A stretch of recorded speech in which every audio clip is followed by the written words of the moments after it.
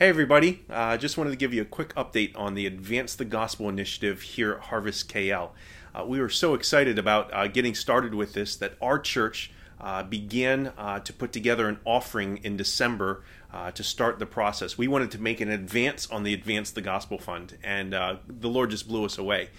We took in $32,000, that's US dollars, uh, which is like a quarter of our goal um, already before the year even really began. And so we're so thrilled about that, and we just wanted to let you know that these that these things have begun, and we need your help to continue in this. And we're going to be doing more updates in the months to come.